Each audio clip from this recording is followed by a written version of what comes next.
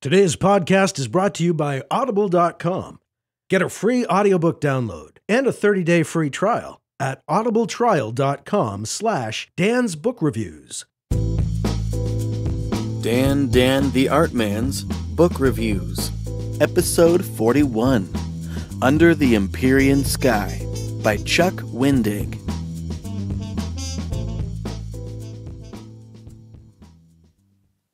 This was a fun book.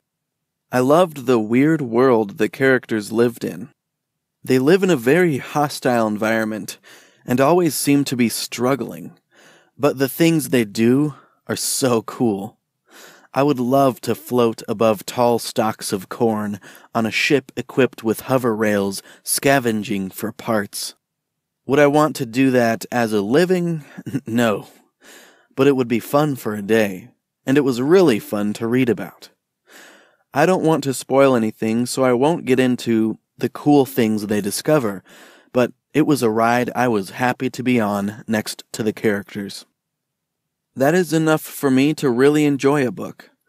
But Chuck's writing style was like a big old cherry on top of this hovering banana boat he served up.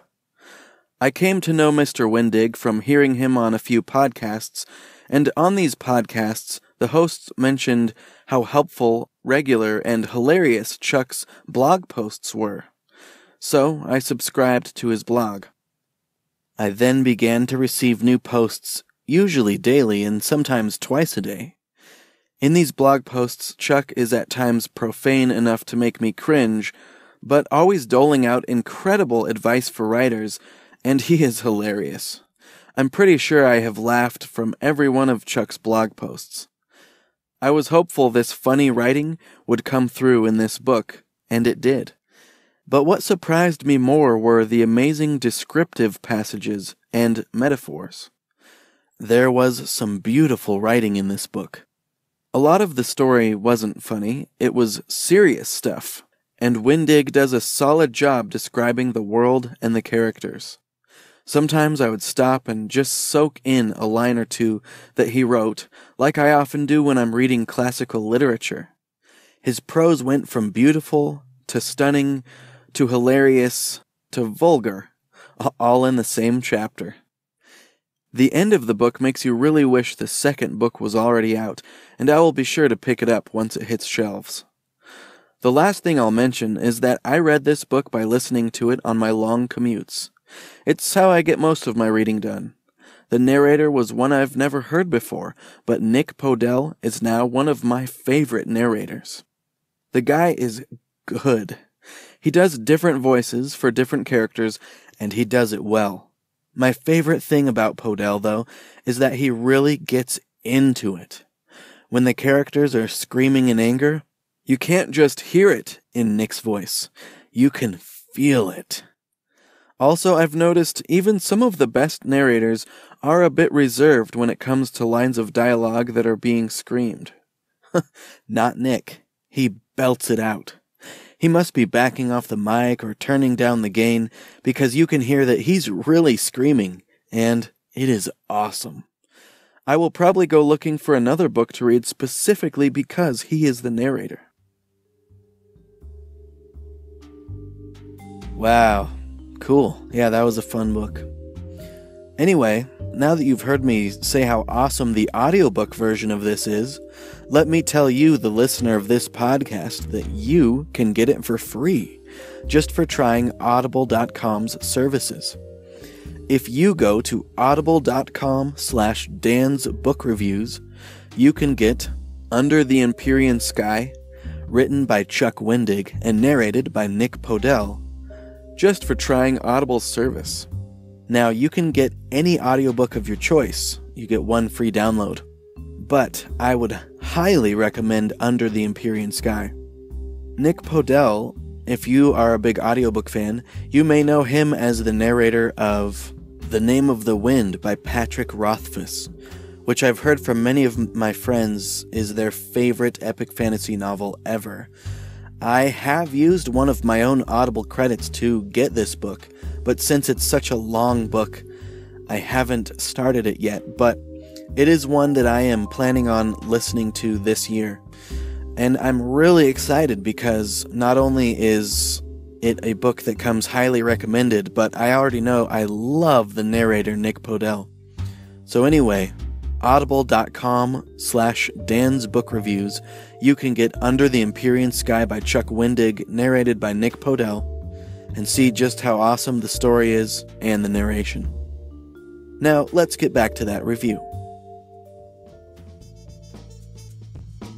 Alright, so yeah, I remember the main character of this book being really relatable, and um, I don't know what it is about books where the main character is kind of coming of age, but that's the case in this book, and I really loved it. Um, it was also really cool just seeing the difference between the people who live down on the planet. The people just barely scrape by, and they're poor, and life is really hard. But above them are these floating cities, and you can see this book has a really cool cover. You can see a floating city floating above a whole gigantic row of corn on either side. And um, I'm excited. I think in the second book you get to explore these floating cities more. And I haven't read the second book yet, but this is actually a trilogy of books. So uh, that's probably another book I am planning to read this year. That'll be exciting. So um, there were quite a few main character. Uh, the main character had quite a few friends, and it was really cool seeing them kind of scrape through life and um, flying around on these hover vehicles, scavenging for parts. People call this corn punk because it, it wasn't really steampunk, um, but either way, it's it's sci-fi and it was awesome. So it, it's kind of its own genre in a way, and that was really cool. Um, I haven't read much steampunk, um, and this is, like I said, corn punk, or I don't know, but uh, there's some really cool technology in this book, and uh, I really look forward to seeing more as the characters get to explore the cities that float above their world. And that's where all the rich people live. So there's just this cool dichotomy between um, the two societies, and you really got to explore what it was like living under the Empyrean sky, as the title suggests. And it was cool. Um, there were quite a few adventures in this book, and so there's a lot of really fun, cool scenes that are beautifully described, but there's also a lot of awesome, exciting kind of action scenes. So there's just a lot to uh, look forward to in this book. I hope you'll check it out. Uh, I hope that you guys have had a good week of reading. I would love to hear about the books that you're reading. If there's a book that you have heard of that you want to read, but you don't know if you'll like it or not, and you want me to review it, I'd be happy to do so. Just go to dandantheartman.com, and on the right hand side, you can see a button that says um, Book Reviews Podcast. That'll just link you to all of the posts for this podcast, and just go ahead and leave a comment on any of those. And uh, let me know what you're reading. Let me know what you think of this podcast. Uh, let me know if there are books you want me to review. It's funny, I go on YouTube and listen to book reviews on there a lot, uh, but usually only after I've finished a book because I don't want anything to be spoiled. But at the same time, I'm just really interested on what people thought of a book after I read it, why they liked it, maybe even if it's a book I didn't like, but I kind of liked parts of it, and it's like a highly reviewed book that tons of people like. I'm just interested to see what other people's thoughts were on a book. And so I'm guessing that's how a lot of you guys are. You might be listening to just certain episodes of this podcast on books that you've already read just to see what I thought about it. And if that's the case, go ahead and post a comment under one of my blog posts at dandantheartman.com. Let's just get a discussion going. Also, you can find tons of book reviews on that website. And so um, I might have already read a book that you want me to review. And if you see it on my website as a review or on my Goodreads page, And there's a link to my Goodreads on dandantheartman.com, just in the upper right hand corner. You can just say, like, hey man, I see that you've read and reviewed this book already. Can you podcast it next? I want to hear it. Then you don't have to read it, you can just listen to it on your commutes. Because if you're like me, you don't have a lot of reading time, but you do have a lot of listening time.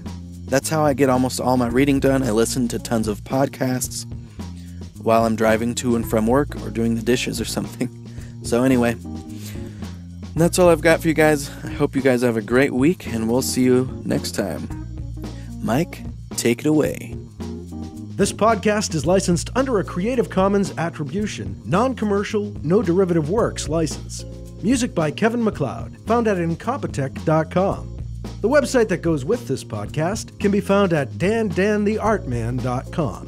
And you can follow Dan on Twitter, Google, and Facebook at Dan For Dan, this is Mike Luoma saying happy reading, and we'll see you next time.